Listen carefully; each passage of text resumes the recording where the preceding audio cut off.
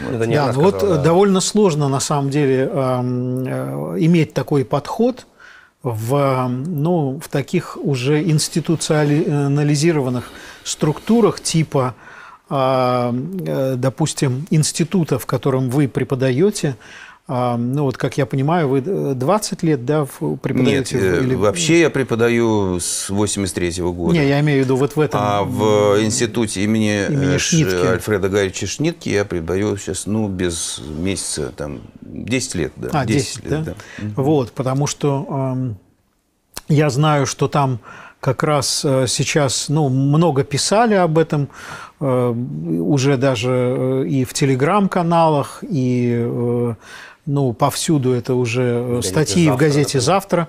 Была статья на эту тему по поводу конфликта, который сейчас там возник вокруг одной из студенток. Да, ну, своими словами. Тогда, да, но да, тут расскажите. как раз, если продолжать предыдущую мысль, да, да, да. И тут вот, опять же, э, если вернуться немножко к Евгению Андреевичу Авдеенко, э, который, значит, пишет э, там слова такие из псалтири, тоже когда он вот это разрабатывал историю, ну, рассказывал про псалтирь, там есть такие слова «Ибо возлюбили они пустоту». Вот. А и дальше еще там написано «А язык у них ласковый и сладкий. Вот. И дальше он говорит, поэтому нужно их не слушать, а нюхать. Потому что, опять же, как, как гробы повапленные, снаружи mm-hmm. красивое, а если открываешь, то там страшный смрад. Вот. Но вот наши оппоненты, э, как раз э, наши оппоненты, да, это э, руководство нашего института, и в частности конкретно ректор Анна Иосифовна Щербакова. И, ну, все, так сказать, с ней единомысленные. У них вот этот орган обоняния великолепно развит. Поэтому вот этот дух э, творчества, э, дух э, подлинного открытия, Э, вызывают, конечно, такую довольно жесткую аллергическую реакцию, и поэтому такие, может быть, не совсем с виду адекватные, так сказать, действия, противодействия просто тому, что мы делаем, э, как бы даже никого и не касаясь. Вот. Просто само по себе существование, и именно даже слова такие употреблялись, когда говорили, э, что там не тот дух вот в этой школе, вот в нашей, да? На, ну ладно, да, нужно нашим слушателям да, никто, же, никто же не понимает, о чем речь да, вообще, сна... ты ну, так говоришь. Немножечко. Сначала, да, надо. Да, да нет, э, что касается конфликта, о котором вы сказали, да, да, да. и который довольно широко, по крайней мере, в музыкальном мире известен, то я сразу скажу... Ну, э, все-таки да, надо описать. Да, да я сразу скажу, э, почему он вообще, так сказать, этот э, гнойник, так сказать, вскрылся, как э, написал в одной статье наш замечательный друг. Э, да, э, тот камешек, который сдвинул гору, там давно происходили процессы, о которых мы еще поговорим. Э, отчислили одну студентку. Отчислили ее э, якобы за э, непосещение оркестра. Причем, обратите внимание, э, во время непосещения оркестра, во время пандемии, когда все это происходило по Зуму, вообще, представляете, что такое это вообще отдельный абсурд, не будем его э, касаться, да? Э, ну, оркестр по Зуму. Ну, хорошо. А, а э, замечательный стиль, собственно, управления э, вот, институтом, в том числе э, у Анны Иосифовны, э, она отличается от других руководителей. Ну, мы все понимаем, каждый имеет право там, отчислять, да, там, э, ну, увольнять, за дело, увольнять, там, допустим. Да. на У каждого своя сфера, у каждого руководителя своя сфера, мы все прекрасно понимаем. Вот. А, а она известна тем, что если ей кто-то не понравился, вот, да, она не в только, прямом смысле этого слова. Да, она не, не только, например, вот в, в, в этом конкретном случае э, отчисляет человека с работы. Она, э, используя свои, как мы за недавнее время убедились, совершенно потрясающие, широчайшие э, кулуарные связи, она находит возможность воздействовать на жизнь этого человека в дальнейшем. Вот э, в случае с э, Валерией Перепелицей... Это, это есть сейчас, я перебью да. немножко, есть, сейчас очень развивается культура обнуления – То есть то, что э, в Америке называется cancel cul- culture, да, Да-да-да. это когда просто полностью обнуляется вот явление, человек. Но они Ну да. обычно, э, речь идет там о прошлом, о каком-то Ну да. герое, когда он просто втаптывается в грязь, и его нет. Да, То есть его стирают из жизни. Смотрите, вот и в- у нас вот это, я смотрю просто, что вот этот случай очень показателен тем, что у нас перенимается вот эта вот культура обнуления, когда человека не просто, допустим, ну не понравился, там, э, э, если раньше, да, отчислили, поищите да, себе а теперь работу, э, это ну, нужно не просто отчислить, допустим, человека, Да, да, а да, его да, да. уничтожить Да, да, да. полностью. Ну, смотрите, во-первых, это как в фильмах, которые еще в Голливуде снимали еще давно-давно, да, там, э, не помню, то ли «Мистер Президент», как-то, э, собственно, куда нас ведут? В мир цифровой, в котором у нас не будет наличности, у нас не будет ничего. Если ты переступил какие-то границы, Да. тебя просто отключают. У тебя- у тебя не будет... Обнуляют, да. Обнуляют. Нет кредиток, нет ничего. ты не Тебя нет, никуда- тебя нет просто, Да, вообще тебя нет тебя. Вот. А, И вот- собственно, и в данном конкретном случае тоже, что они сделали? Во-первых, Ва- Валерия, да, Валерия Перепелица. Перепелица, да. А, Прекрасная девочка, отличница, чтобы вы понимали тоже, да, шла на красный диплом. И вот с последнего курса ее отчисляют. А, вот. А э, тут э, множество было и до этого таких же случаев. Но Да. мы, э, Множество. музыканты вообще, это люди такие, нужно понимать, что они на конфликты предпочитают не идти. Воевать никому не хочется, лучше сохранить нервы, лучше я отступлю, лучше я куда-нибудь уйду и так далее. То же самое происходило и с отчисляемыми студентами. И вот это первая девочка, которая решила вдруг не молчать. Ну вот, ну потому что уже вот, ну, ну она человек такой прямой, в каком-то смысле простой.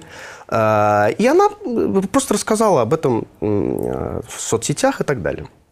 Тогда а, тут нужно понимать, что в институте замечательно, вот э, есть целые там э, люди есть. Где я раньше был доцентом, а теперь я Да-да-да. уже, значит, там Да. стал. А, Да, значит, есть люди, которые а, на полном серьезе, там, я даже знаю, на ученом совете там был один раз, а, люди выписывают фамилии людей, которые поставили лайк или сделали какой-то пост в соцсетях. То есть они как бы а, ищут, Или кто. дети, или их дети. Да, да, да, нет, кто угодно. И дальше это они... современно, Да, да. это потрясающе. И дальше они находят, еще раз говорю, через свои связи способы воздействия на этих людей. В данном конкретном случае а, девочку а, отчислили, потом ее, внимание, уволили с работы. Вынудили Причем, об- а, да, обратите внимание, э, работала она в оркестре Министерства обороны Российской Федерации, где Институт Шнитки, где Министерство обороны, да? Вот. А после того, как она написала жалобу в Департамент культуры города Москвы, э, а нужно сказать, что Шнитки – это единственный вуз московского подчинения, после этого э, дирижер э, ближайший э, сподвижник э, ректора ее фаворит, будем так говорить, да, вот, э, он подал на нее в суд о защите чести и достоинства, которое внезапно э, да, оказалось оскорблено, на 300 тысяч рублей. То есть, переводя на русский язык, еще раз говорю, э, переводя на русский язык, э, человека, который им перешел дорогу, а еще раз говорю, он никак им не перешел дорогу, ну просто я не знаю, я не знаю, что там было, она посмотрела как-то не так, еще что-то. А, Ее показательно отчислили, лишили средств к существованию, и после этого, чтобы окончательно ее уничтожить э, и финансово, и репутационно, подали на нее иск в суд на 300 тысяч рублей. Понимаете, эта девочка, ей там 23 года, да, А. э, без А. связи, простая обычная девочка. Ну, А на- ученица на них была всех плевать. моя. Да. И Анна Иосифовна как-то со мной, когда беседовала, она сказала, ну вы же понимаете, что э, она даже уборщицей в Москве не устроится. Да. Ну, то есть, То есть, чтобы все знали, так сказать, все знали, что руки у нас, человека, руки да. у нас Да. длинные, Да. всем покажется, Да. немало не Да, покажется. это просто вот они показывают таким образом, э, что будет с теми, кто пойдет против них. А э, я тут на всякий случай как бы э, упомянул, что вообще-то вуз имени Шнитки, институт, да, это государственное учебное заведение, что это не частная школа, да, не частная лавочка, как тоже хорошо написали в газете, в газете «Завтра», да, это государственный вуз. Куда, ну, все понятно, Нет, да? Тут в данном случае, как, как кто-то говорил, государство это я, да? И вот э, как раз, да, это, да. а Анна Иосифовна как раз э, все время употребляет вот это вот, это институт. Вы пошли против института. Это нужно да. для института. Да, это классика. Читай, Это классика. Лично я и мое окружение. Да. Вот. Ну вот. А дальше, собственно, что произошло? Э, Когда на девочку уже, а еще раз говорю, на абсолютно невинную э, девочку уже подали в суд, э, вот я, например, все это время, когда продолжался конфликт, я был вынужден опять молчать, потому что, еще раз, ну, я... Потому э, что папа не велел. Да, в том числе, да, потому что, ну вот, Леонид Игоревич отступал там 4 года до Ну, у упора, меня когда все это происходило. целый класс, замечательные за... дети. Нужно понимать, что за последние 4 года института вынужденно ушло э, более 30 человек. Большинство из них вынуждено. Э, Больше, больше 30 профессоров, доцентов, то есть преподавателей. А реальное количество людей там было вообще больше 50. А нужно понимать, что всего сотрудников там около 200, 250, что-то в таком духе. Да? Э, И каждый раз это как бы по отдельности. Их вот кого-то кого там убрали, не продлили контракт, кого-то просто уволили. Там, ну, в общем, неважно. И все молчали. А тут уже когда эта девочка, вот э, еще раз говорю, она выступила, э, еще раз без нашего как бы ведома, мы ее к этому никак э, не сподвигали, да, и когда на нее подали в суд, ну тут уже приличные люди, просто ну, не- не- невозможно было молчать. То есть мы, естественно, вступились за нее, то есть мы даже не обсуждали, что Леонид Игоревич пойдет в суд ее защищать. Вот. И тут нужно сразу сказать, что, во-первых, судебные заседания еще продолжаются, Но неслыханное дело, уже первое несколько заседаний состоялось, а, в суд защищать студентку от иска преподавателя пришли этого преподавателя коллеги. Вот, вообще, ну, э, на самом деле, еще раз я говорю, а, совершенно э, потрясающие, на мой взгляд, э, вещи вот, э, происходят. Когда мы поняли, что мы будем ее защищать, мы решили написать открытое письмо в органы государственной власти, в администрацию президента, Министерство культуры, э, там, в общественную палату и так далее, и так далее. А, И, э, собственно, оно было написано, я начал собирать подпись. Я совершенно случайно оказался вообще в центре этих событий, просто, ну, э, как человек переживающий и так далее, да. И вот тут, когда это письмо попало к ректору, вот я, конечно, человек молодой, но э, все-таки я с таким еще никогда в жизни не сталкивался. То есть э, то, какие ресурсы она задействовала на то, что, за- э, на, э, на то, чтобы э, эту историю как бы похоронить сначала, чтобы о ней никто не узнал, и э, какие ресурсы она задействовала, чтобы нас просто смести и, как говорится, уничтожить, ну, для меня это было совершенно невероятно. Ну, то есть, ну, для начала она начала звонить просто всем преподавателям, которым было возможно, и просто впрямую им угрожать. То есть, ну, если вы, э, если вы подпишете это письмо, то я вас уволю. Вот. Из государственного вуза, еще раз говорю, да? Вот. Потом этого оказалось мало. А Она подключила э, работодателей людей, которые подписывали письмо. То есть э, некоторые ректоры некоторых э, вузов, некоторые проректоры, э, некоторые э, руководители э, крупнейших э, мировых московских оркестров э, снизошли до того, чтобы звонить своим подчиненным и просто и в ультимативном порядке говорить им, чтобы они не смели подписывать это письмо. Какое-то глубинное Да, государство. нет, невероятно. Совершенно верно. Совершенно верно. Это, это, это потрясающее впечатление производит. Когда ко мне приходят дети, э, там, студенты, которые тоже подписывали, конечно, это письмо, и говорят, «Э, нам сказали, что если мы подпишем это письмо, мы не сможем работать в Москве больше никогда. Да, не только, то есть нас не только отчислят, но мы работать не сможем. Да, то есть это, то есть люди запуганы до такой степени, и я вот под этим вот прессом находился э, в какие, какие-то вот три дня под просто невероятным. И мне приходилось еще им как говорить, ребята, я говорю, слушайте, это э, с одной стороны это блеф, а с другой стороны ты понимаешь, что нет, не блеф. Ведь она реально использует свои ресурсы, чтобы не дать жизни людям, э, которые против нее пошли. Вот. Э, Нет, ну там Что? простые вещи. Э, Например, это, конечно, не первая моя ученица, с которой такое произошло.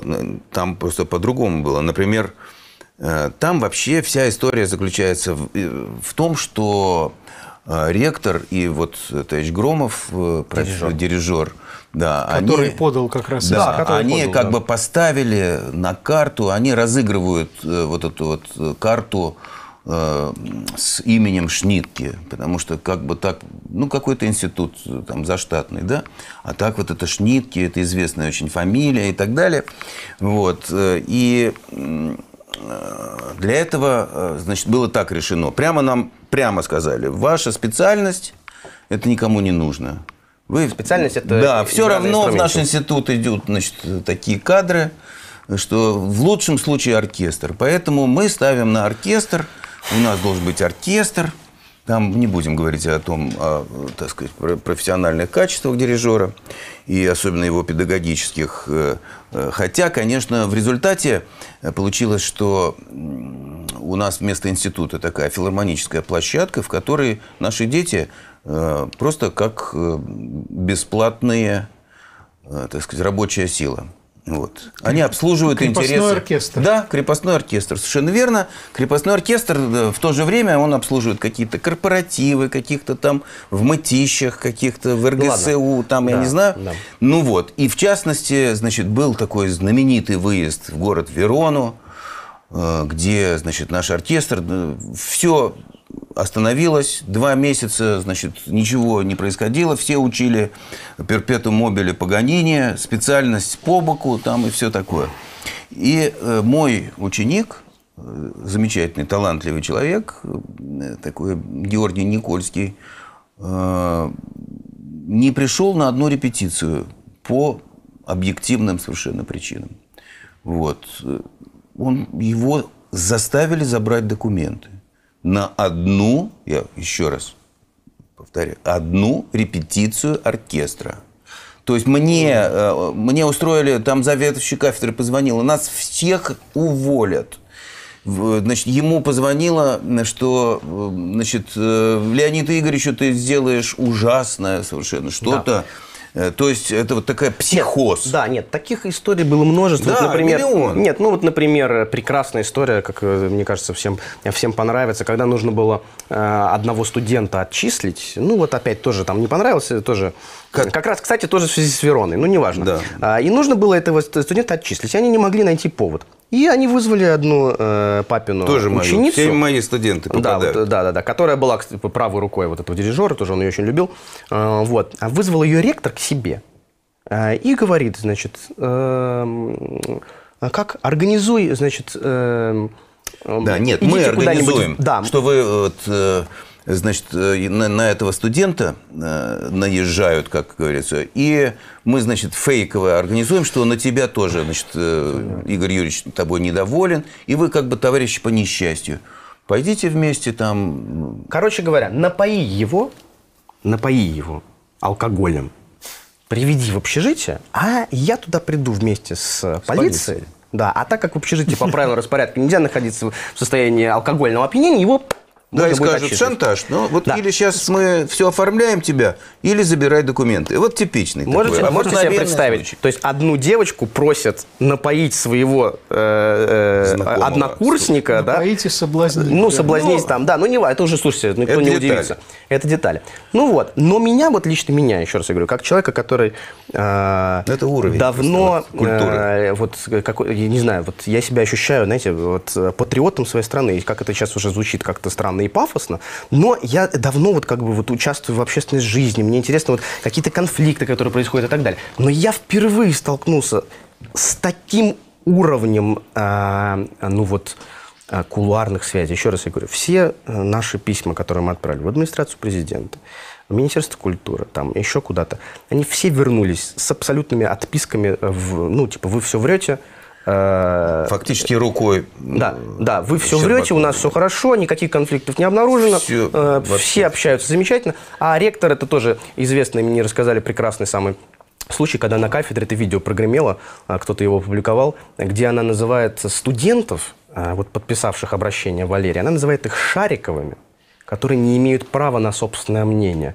И когда говорят, ну, она использует, понятное дело, цитату Булгакова, неверно, да, вот, но тем не менее, что когда говорят два профессора с университетским образованием, вы, Шариков, должны молчать и слушать. Ну, это просто штрих к портрету. Вот. Но меня, еще раз я говорю, меня здесь чисто даже с политической точки зрения интересует, каким образом ее прикрывают вот, а, люди какие-то. Ну, во-первых, э, по всей видимости, она пользуется э, поддержкой своего непосредственного начальства, а это, в общем, Департамент культуры города Москвы.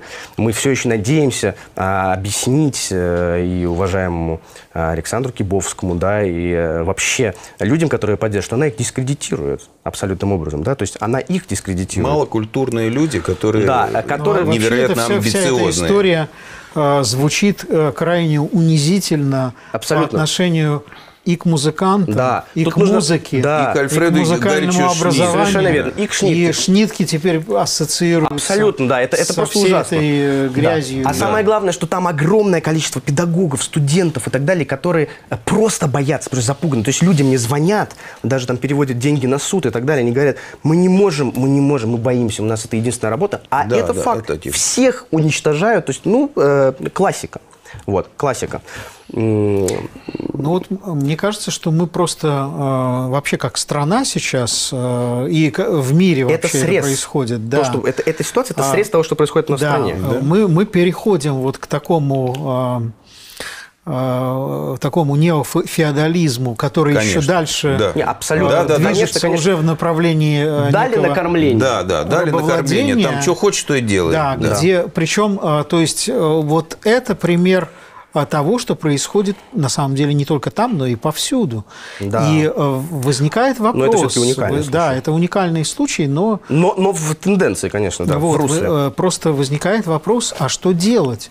То есть как быть Вот. и Что да. делать? Вот что делать, когда ты обращаешься, казалось бы, ко всем, к уполномоченным лицам, ты и ты говоришь, ребята, посмотрите, просто беспредел. То есть люди перешли все красные линии, еще раз говорю, по любым понятиям. Еще раз, мы тут, понимаете, мы же не пытаемся тут, э, ну, они пытались, естественно, во-первых, искать компромат, распространять там слухи о том, что мы хотим захватить институт, поставить там то ли меня, то ли папу ректором. Естественно, это все, ну, так, бредятина такая тяжелейшая, конечно, которая говорит много, э, в общем-то, о их душевном состоянии, но тем не менее, а, беспредел, еще раз, то есть люди мало того, что э, э, девочку, на которую, видимо, всем плевать, да, хотя она ничего не Конечно, сделала. ну, какая-то да, их а ее их отчислили, лишили средств существования, подали на нее в суд. Ну ладно, хотя это переход красных линий, на мой взгляд. Так они еще решили нас, которые за нее вступить, они нас решили просто уничтожить.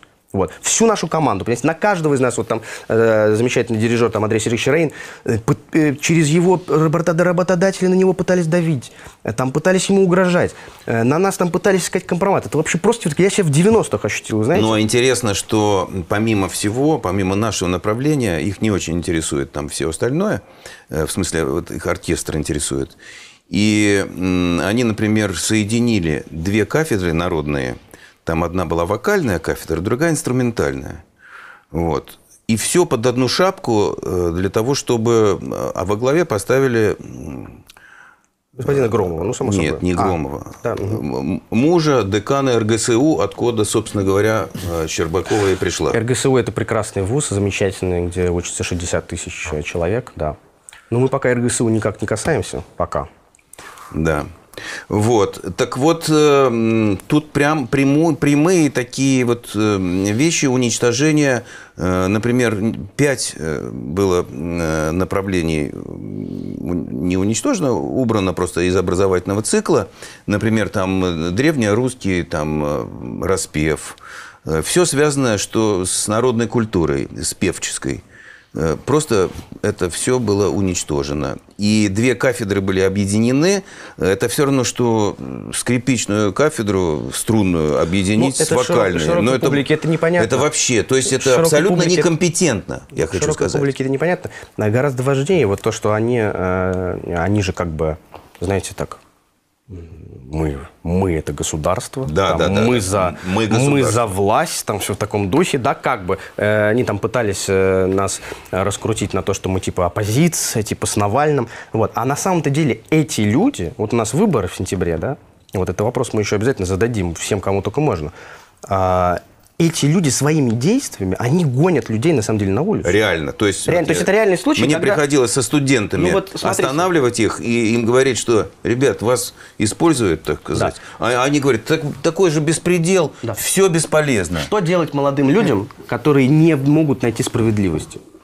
Которых, которых, Даже на которым перекрывают института. абсолютно э, все выходы, им говорят, если ты дернешься вправо-влево, мы тебя просто расстреляем, условно говоря, да? Да. А если ты пойдешь куда-нибудь, это Салтычиха, типичная. Если ты пойдешь, как там первые 21 ба- э, крепостные, которые ходили на нее жаловаться Екатерине, она их обратно возвращала им. И она над ними устраивала самосуд. И здесь то же самое происходит. Что им делать-то? Вот они смотрят на Навального, Да, выходят они за ним. А их дальше сторонам. используют и, и в расход, понимаете? Вот на что нужно обратить внимание государственным мужам, понимаете? Вот. Ну, государственные мужи, к сожалению, так сказать, заняты там Нет. чем-то другим а мы, вообще. мы верим, что есть у нас здоровые силы в стране, которые способны останавливать беспредел. Нет, способны. собственно говоря, в каком-то смысле это такой маленький оселочек, э, камертончик, который нам подскажет, собственно говоря, у нас вообще какая-то надежда есть или нет. Мы вот когда последний раз в школе в феврале сидели в нашей, э, у нас там в гостях был афонский монах, э, который мне говорит, Лень, а где, где ты их нашел? Детей. Таких, вообще, таких детей. Я говорю, ну я не искал, они как-то сами находятся. Он говорит, я даже начинаю думать, что, может быть, не все потеряно. Да, возвращаясь. Вообще, Да, после да, этого всего не хочется ли на Афон там Хочется, да? конечно, Вы же там бывали, да, как я Да. понимаю? Ну, с одной стороны, хочется, а с другой стороны, я вот единственное, что могу сказать, что эта ситуация очень сильно изменила мои мозги. Вообще, вот то, что мы э, столкнули, то, что я лично, вот, например, столкнулся с этим, я вот говорю про себя, потому что я как-то, ну, э, еще раз, мы все знаем, там, конечно, про беспредел, там, что происходит. Но когда ты лично с этим сталкиваешься, ты понимаешь, ну ничего себе. Я вот вам скажу, что... Вы не жили в я- 90-е. Да, это понятно, слава богу, что я не жил в 90-е. с- То есть я как раз жил. Да, я как раз жил в 90-е, да. Но я был э, маленький, меня мама там э, под, под, под стол прятала, когда у нас стреляли там рядом на улице, да? Да. Вот. Но я, тем не менее, ска- скажу, что э, я вот э, буду жить в России. Это я четко понимаю. И э, я здесь надолго очень. Вот. Ну, и мы как здесь Бог надолго. даст. Как Бог даст. Но если, еще раз говорю, не убьют или там не, э, не, не- не умру, но тем не менее. И э, эта ситуация, она, конечно, это всего лишь лакмусовая бумажка вот для меня. О том, что будет происходить в дальнейшем. Мне очень интересно, что будет происходить в дальнейшем. И я э, постараюсь в этом принимать самое непосредственное участие. Ну Вот э, мы просто э, расскажите об Афоне, потому что как раз к этому мы пришли, как-то зацепили эту тему. То есть там, э, то есть что вообще, что, как, вот. Вам нужно Там, поехать, Игорь. там очень разнообразно. Там нет женщин. Значит, в общем-то, в некотором роде Просто я к тому, что хочется от этой ситуации немножко отвлечься, Да. потому что мы, мне кажется, о ней сказали вот. Да, я вот, вот скажу Да, по поводу всё, Афона, да. что э, вот э, Леонид Игоревич был гораздо больше раз, чем я там был всего лишь один раз. Но я вот помню это ощущение, что когда я въехал на Афон, то я как будто ничего не почувствовал изначально. Ну как нет? Ну а что ты там из Салоников на пароме там Из рядом летят... Уранополя. Из Уранополя, да. Э, рядом летят чайки, альбатросы, и ты как бы на остров попадаешь. А, вот. А вот когда я выехал обратно, А, точно, пароме, да, у меня было такое ощущение, что как будто купол какой-то невидимый, который надо мной был, его как будто убрали. И вот на меня абсолютно обрушился этот мир совершенно с какими-то ис- искушениями. Тут рядом, рядом вдруг ругаются в Греции матом по-русски вокруг. Значит, какие-то, тут, значит, какая-то драка. И ты как будто ок- окунаешься обратно в этот мир. Удивительное ощущение вот этого невидимого купола, который ты не ощущаешь, пока он есть. Вот, это ужасно интересно. Ну да, да. Так не, не нужно ли нам устроить в России жизнь так, чтобы вот этот купол над нами висел На здесь, что вы намекаете? и Вы чтобы не нужно было, из России? не нужно было в Грецию откуда куда-то ехать для этого. Ну, в России, на самом деле, я уверен, тоже Ну, есть, Кстати, женщина, между прочим, вот вы не раз упоминали Ольгу Николаевну Четверякову. Да, гениальную абсолютно А, то есть э, вот из того, что я вижу в последние как раз э, уже больше, чем год, пока весь этот абсурд вокруг происходит, я вижу, насколько ну, женщины активны и замечательны. Более, чем мы, И гораздо на порядок э, больше, чем Более мужчины. бесстрашные. Да. Они словно что-то чувствуют, вот, что э, там, может быть, у мужчин работает все-таки, сказать, больше интеллект, какой-то разум там, и э, э, разумом еще этого не определились. А у них есть какое-то ощущение внутри, что что-то происходит не то, и нужно спас, нужно как-то Да, что-то да, делать. борьбу вообще вели вот они. И, там можно вспомнить и Катю Гордон, например, там, не знаю, Ольгу уже Четверякову. Вообще Но интересно все-таки, что чуть-чуть э, маленький довесочек к предыдущей теме, э, что э, вот, ну, немножечко связано с Афоном. Э, Последний раз я на Афоне был с- со своим замечательным другом, отцом Феликсом, э, который э, удивительный человек, не просто любитель музыки, своя а выдающийся любитель музыки, там мало с кем можно его сравнить. Он знаток русской музыки, Мисковского, Шабалина, там, Бориса Чайковского и так далее. Вот. И он, пораженный вот этой всей ситуацией, которая у нас. И, кстати сказать, он очень уважает Альфреда Гарича Шнитке. И, в частности, в следующей школе мы, надеюсь, будем смотреть фильм «Восхождение» с нашими детьми. Как раз там музыка Шнитки. Угу. Вот. И он написал такую статью на эту, эту тему, как бы животрепещущие, э, смысл которой, в общем, в том, что э, как бы, ну, людям не стыдно, на, так сказать, э, вот на имени замечательного композитора делать вот такие вот вещи, которые там делаются. Так вот Написали он под, под, под, под, под прессом находится, ему там чуть ли не через день звонят из патриархии, так сказать, и там благочинные, там ответь, а что? Убери статью. Да, да, да, да, да. Кстати, то есть у нас настолько одно церковь у нас ну, отделена. У, то есть, у ну, нас уделен... вы понимаете уровень, то есть они, э, да, ну, о чем вот говорить? Это, кстати, об Афоне, да? Да. Вот, угу. как раз вот отец Феликс мне показал, мы, я впервые, раньше я все время так извините, как по блатному, но, в общем, к знакомым всегда ездил, и как бы все у меня было устроено. А вот с отцом Феликсом мы вот ходили из монастыря в монастырь пешком, э, договаривались, устраивались, просили, просились на, на службах, стояли на ночных э, и так далее.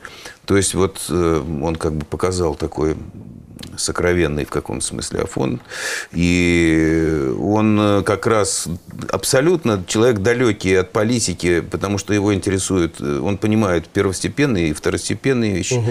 Когда человек умирает, он понимает, он, так сказать, он отпевает, э, и кому что прощать, и так, и так далее. И он-то уж совершенно не в конъюнктуре, что называется. Его это поразило, вот что, вот так можно сказать, на гробу пляшут вот, люди. Ну вот эм, вы же не только в таких духовных оазисах бываете, как Афон, а, насколько я знаю, вы в Донецке были. Да, вот интересно да. тоже об Донецк этом было мы, ну, во-первых, это гражданская позиция в первую очередь, ну, а во-вторых, это, мне кажется, в каком-то смысле даже долг. Ну, мы э, помогаем, э, сотрудничаем с Донецкой филармонией замечательно. Мы приезжаем туда играть концерты. Сайт, филар... А. Сайт миротворца да, вот... Сначала э, Фанас плакал, а теперь уже не да, плачет. Да, да, да. Вот э, да. Леонид Игоревич попал на «Миротворец» э, вместе с Марией Михайловной. Я, кстати, почему-то нет, я очень обиделся. Я туда приезжал даже больше, чем вы. А, а в итоге меня на «Миротворце» нет, а они есть. Вот, недоработка, ребята. Потому что, видимо, ты в интервью Надеюсь, был аккуратен. Надеюсь, а да, я конечно. просто, я просто правду сказал. Я был поражен, когда я проходил вот эту вот границу Э, и после таких вальяжных наших пограничников, таможенников, таких, так сказать, э, когда я попал на ту сторону и увидел, э, во-первых, какофон, потому что я почувствовал, что там редкий случай, там правят мужчины. На меня это сильное впечатление произвело. И вот это отношение, мы опаздывали на комендантский час, вот, и как они помогли и не, не так вот, а по-мужски быстро все оформили мне, куда едете, что там. В общем, это было такое сильное впечатление. И в интервью, которое у меня брали, я сказал, что не, это не мысль моя, опять же, а это такое чувство возникло, что, может быть, отсюда пойдет возрождение вот, русской, земли. Рус, русской земли. Да, ну вот, видимо, заслужил поэтому миротворца, так сказать. Ничего, вот. прорвемся. Донбасс с нами. А э, Все-таки вот э, мы говорили о том, что музыка как раз вот то, что вот эту дикую ситуацию, которую вы описали, и э, это все укладывается в русло таких вот вообще гонений на все человеческое, которое угу, сейчас началось. Да. И это э, именно такое вот есть духовное нечто, есть с другой стороны, тоже которое духовное. как бы да тоже, тоже духовное, духовное, но да. значит э, с темной стороны, которая тоже вот эти осуществляет эти гонения. А как вы чувствуете вот в музыкальном смысле? Там 20 и 21 год, с какими вообще произведениями это может ассоциироваться? Что приходит на ум? Ну, как 20, вот, 20, что хочется играть, допустим? 20 год – это 250 лет со дня рождения Бетховена и 180 лет со дня рождения Чайковского. Не знаю, вот... Э... А, Вот опять же, вот э, уже упомянутый отец Феликс, э, который заставляет меня слушать современную русскую музыку. Вот, в частности, э, буквально он может мне позвонить в 3 часа ночи и сказать, что если ты сейчас же не послушаешь 17-ю симфонию Мисковского, ты не русский человек. Да, хотя сам он, у него фамилия вообще-то Стацевич, он с польскими корнями. Но это немножко примеряет нас вот тоже. Да. И я послушал Севастопольскую симфонию Бориса Чайковского. И я бы так сказал, что я не помню, что что-нибудь вот такое музыкальное на меня такое впечатление производило за последнее время. Удивительное, страшное, гениальное, потрясающее, совершенно самостоятельная, ну, удивительная музыка. Вот если кто-нибудь хочет почувствовать, что сейчас происходит, слушайте Севастопольскую симфонию Бориса Чайковского. В этом году 80 лет э, со дня начала Великой Отечественной войны, и, а в сентябре будет 8 сентября, соответственно, 80 лет со дня начала блокады Ленинграда. Вот. Ну, да, мы сейчас участвовали в, э, в создании фильма. Навечно. И надеюсь, что э, называется он э, «Билет на войну», так будет, да, на НТВ. И играли, вот Петя играл в, в Шлиссербургской крепости. В Орешке. Орешек. Замечательная. Там оказалась совершенно потрясающая акустика.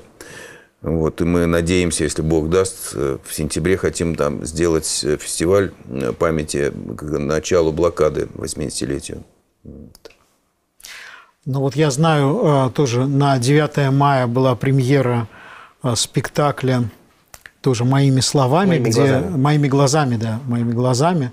Я все время почему-то вот у меня в голове как-то отложилось моими словами, почему там, потому что монологи, да, вот, видимо, поэтому, да.